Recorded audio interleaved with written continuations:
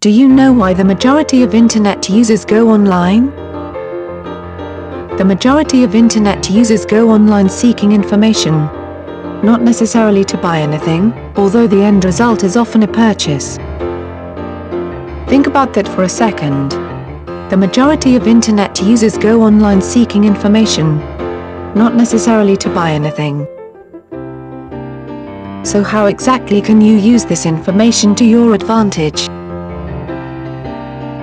The answer really couldn't be any more simple, if people are looking for free information, give them what they want, provide them with plenty of free information.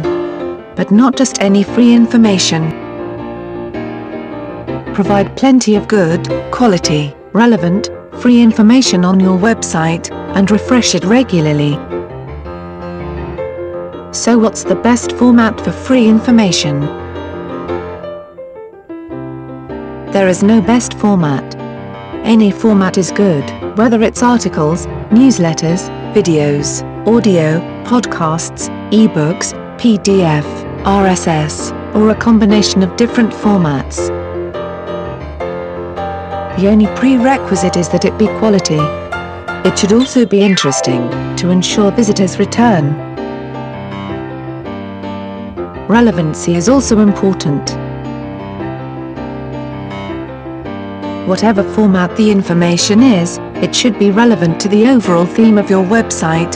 For example, if your website sells gourmet coffee, then you should have plenty of free information relevant to gourmet coffee and the gourmet coffee industry.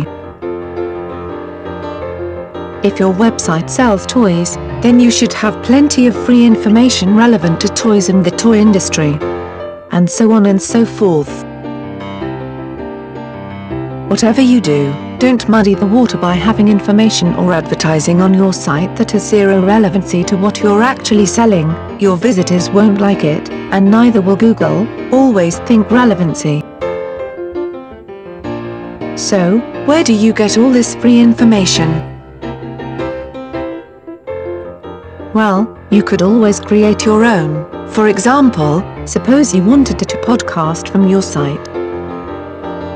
How to create your own podcast, a step-by-step tutorial by Corey Damitz is an excellent tutorial that tells you exactly how to do it step by step.